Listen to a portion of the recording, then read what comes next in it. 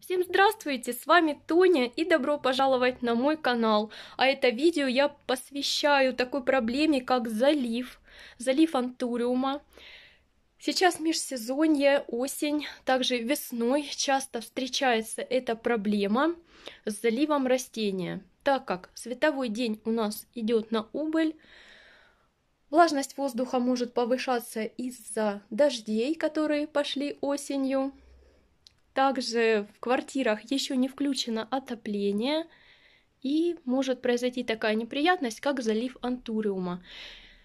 Часто мы можем видеть, как антуриум плачет. Это гутация у антуриума происходит, когда повышена влажность воздуха, а мы его недавно только полили.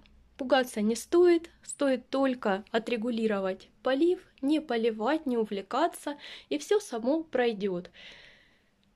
Ну, первая степень залива, ее можно так назвать. Буду рассказывать свой опыт, может кому-нибудь он пригодится. Как правило, сигналят сразу листья антуриума. Они обычно это поражается первый ярус листьев, нижний, точнее ярус листьев. На них появляются темно-коричневые, желтые пятна. Обычно это пятна по краям и выходят на середину. У меня, к сожалению, нет такого примера, или к счастью. Полив я регулирую, все хорошо. Я, может быть, вставлю фотографию с просторов интернета, чтобы вы видели. Грунт влажный у антуриума. И на листьях вот такие некрасивые пятна появляются. Что нужно сделать? Я рекомендую убрать до здоровой ткани, обрезать лист пораженный, и я обрабатываю обычно зеленкой. Инструмент ножницы я обязательно перед тем, как обрезать листья, дезинфицирую медицинским спиртом. Далее я рыхлю грунт, поверхность грунта очень аккуратно, чтобы не задеть корни. Можно использовать какой-то пластиковый инструмент, например, одноразовую ложку, либо палочку для суши, чтобы не уколоть, не поцарапать корневую систему. И начинаю наблюдать за своим цветком. Когда грунт просохнет примерно на одну треть, можно даже примерно до половины в этот раз сделать просушку, следующий полив я обязательно провожу фитоспорином, раствором фитоспорина такой биофунгицид. Следующая степень это более серьезная. Это залив, когда уже появляются грибковые заболевания явно.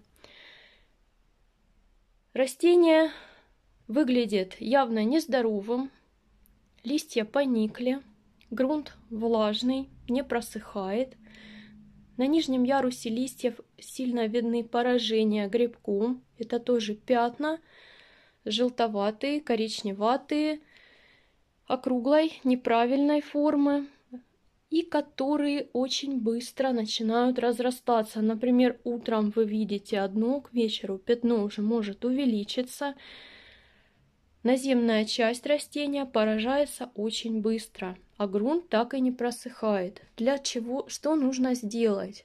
В первую очередь удалить все пораженные части на листьях максимально, также обработав края, срезы дезинфицирующим средством.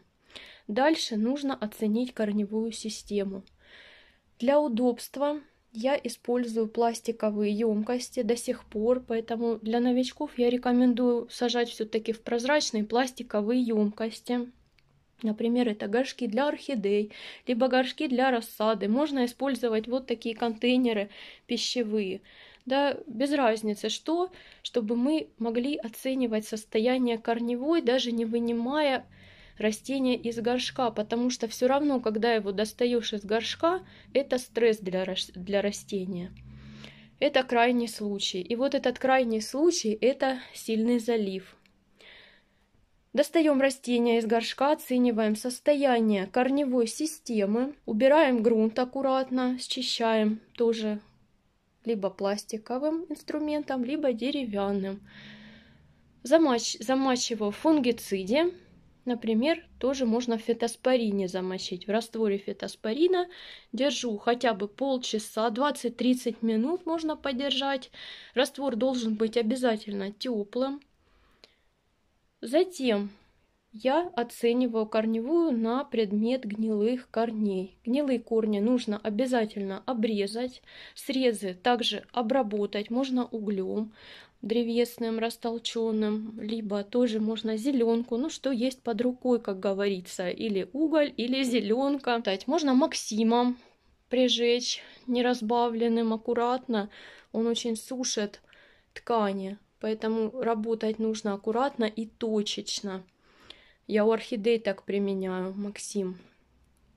Затем обязательно грунт старый утилизируем и сажаем растения. Если осталось там хотя бы процентов 30 корней, растения нужно посадить в свежий, легкий, рыхлый грунт, состоящий разрыхлителей хороших. Можно вообще посадить в непитательный грунт, например, в кокосовые чипсы с верховым кислым торфом, либо крупный кокосовый субстрат крупной фракции, не в мелкий. Ну, можно и в мелкий, но это временно, он спрессовывается.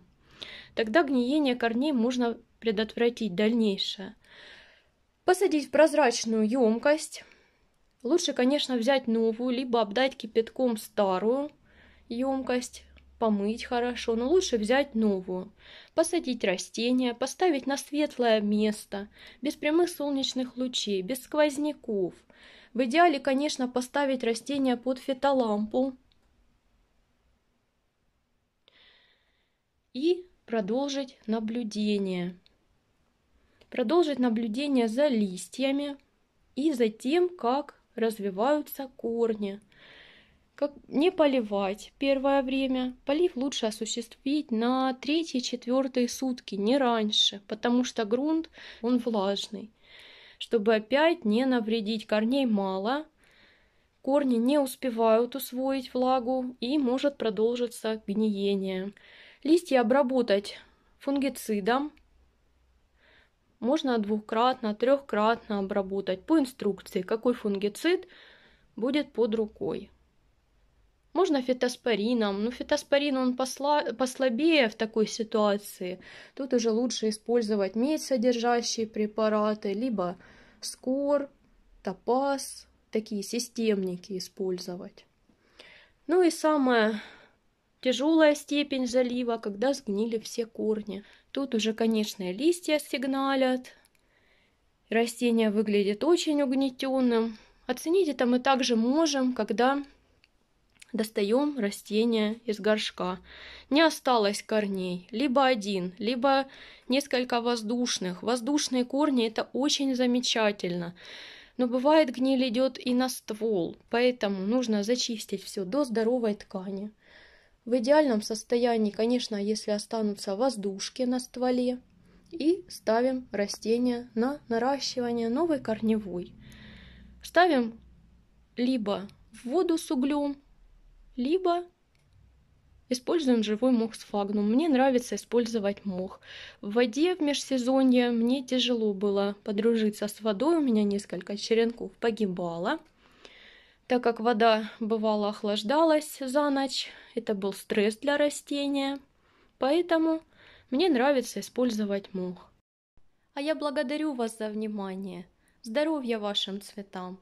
Ставьте лайки, если видео было полезным. И всем пока!